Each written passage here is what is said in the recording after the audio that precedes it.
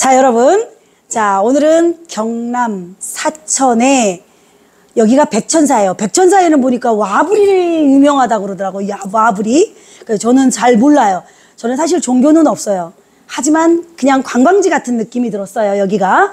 많은 분들이 오실 것 같아요. 자, 경남 사천에 여기 그 주차장 쪽에 보면은 예쁜 카페가 있어요. 카페 같은 게 있는데 여기에는 그 발효 이야기라 그래서 발효에 대한 이런 게 많이 그 전문가로 계시는 분이 또 여기 계시고 자 한번 인사 나눠볼게요. 자 안녕하세요. 네, 반갑습니다. 안녕하세요. 자 제가 이 천마 천마 사양에 대해서 그동안 2편까지 잘 알았어요. 근데 이제는 요 3편에서는 뭐를 할 거냐면 자 이제 먹는 사람들 자 어떤 사람들이 먹으면 좋을지 자저 어떤 사람이 먹으면 좋을까 이 사지 이렇게 어떤 사람 쥐가 자꾸 난대요. 네, 그러면 이것도 혈액순환인가요? 그렇죠. 쥐가 자꾸 난다고 그러는 사람이 있고요. 또 손발이 수족이 냉증이 온대요. 예, 예. 그도 좋나요? 그것도 이제 혈액순환이니까 좋죠. 그죠? 예, 예. 그리고 그냥 스트레스를 받으면 그냥 머리가 치크치크치크치크 아파요. 스트레스를 받으면은 어, 머리 혈관이 이게 엉클어진답니다. 이렇게. 네. 아, 뇌 속에 있는 혈관이 엉클어지는데 이때가 이제 우리가 뭐 중풍을 맞고 뇌졸중 맞고 이제 힘을 막 쓰다 스트레스 많이 받으면 이 엉클어진 혈관이 막혀 있으면 터지는 거예요. 이게 뇌출혈이고 막히면 뇌경색인데 천만을 먹게 되면은 이게 우리가 머리를 그막 엉클어질 때 빗으로 빗잖아요. 이런 것처럼 혈관을 이렇게 과지런히 펴준다는 겁니다. 아, 그리고 안에 있는 유해 물질을 전부 다 이렇게 파괴시켜서 예, 깨끗하게 만든다는 그럼. 말초 혈관까지 다 예, 가겠네요. 예, 예. 그래서 천막을 좋은 겁니다. 와 그런데 예. 저에게 제일 많이 선생님 저는 의사 다니는데 선생님 살려주세요 오는 분들이 뭐냐면 지금 이 겨울에 방에서 아예 솜잎을 쓰고 나오지도 못하는 분이 계세요. 예. 그런 분들 이 아주 전체 추워가지고 온몸이 춥고 손발은 뭐 당연하고 이런 분들 냉증이 이제 혈액순환 때문에 오는 것이니까 네, 제가 이제 보통 우리가 저 천만 하기 때문에 많이 그런 분들 오세요. 중풍 환자도 오시고 많이 오시는데 특히 여자분들이 이게 냉증이 많습니다. 피를 많이 버리고 이렇게 하기 때문에 이런 게 있는데 이런 분들 뭐 한 달 정도 드시면 전화가 옵니다. 아, 손이 따뜻해졌어요. 너무 좋아요. 그래서 많이 옵니다. 그런 분들이. 그래서 뭐 생리, 도움이 되- 생리통 막 이런 것도 막 예, 그러는데도 예. 그냥 그게 도움이 되겠네요. 통증에 이게 혈액순환에 의한 통증에는 천마 이상이 없다. 그러니까 중풍, 중풍 걸린 노인분들이 아니라 중풍 걸린 노인분들만 드시는 게 아니라 젊은 그런 분들이 아니라 예방 차원에서도 좋고 예. 수험생들한테도 좋고 어린아이들 자라나는 어린아이들한테도 좋은데 네. 어떻게 먹는지 용법을 제가 얘기를 안 했어요 지금까지 자 메세이아는 어떻게 먹고 어떤 분들은 어떻게 먹는지 한번 쭉 알려주시죠 어, 이거는 그 식사나 시- 식사 후나 식 전이나 뭐 상관이 없어요. 될 수 있으면 이제 한 30분 정도는 관계를 둬야 되겠죠. 음, 전에 드셔서 전혀 관계 없고 뭐 속쓰려고 이런 건 없습니다. 어, 이제 단한 가지 어떤 분들이 이게 좋다고 그러니까 내 지인분들 그런 분이 있었어요. 하루에 이걸 뭐두 개도 뭐세개 먹어버리는데 그래서 전화 옵니다.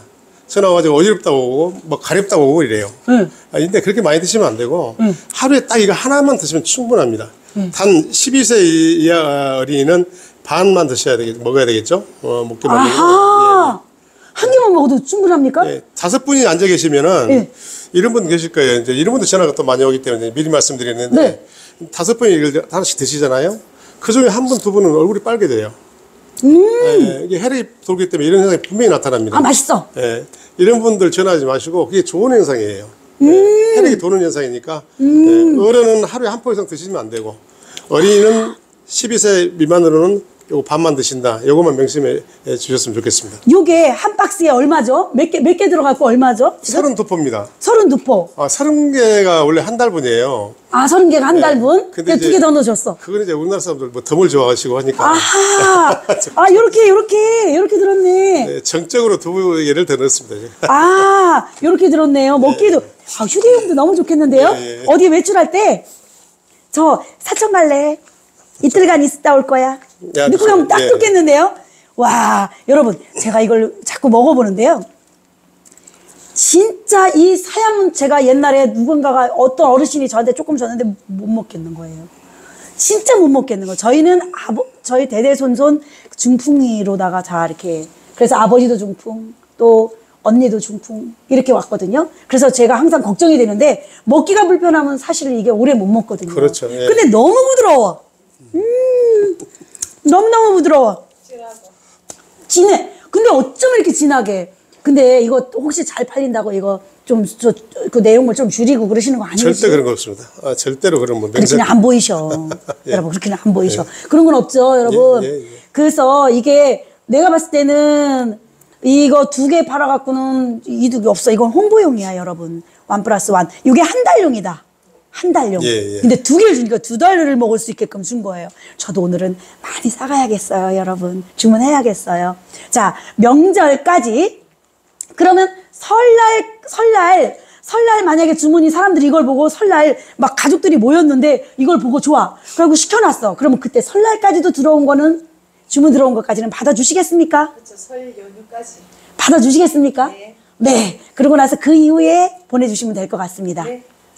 자, 됐습니까, 이제? 자, 우리는 서로 소통하고 상생하며 사람을 널리 이롭게 하는 마음으로 함께해요. 사랑합니다. 수고하셨습니다. 네.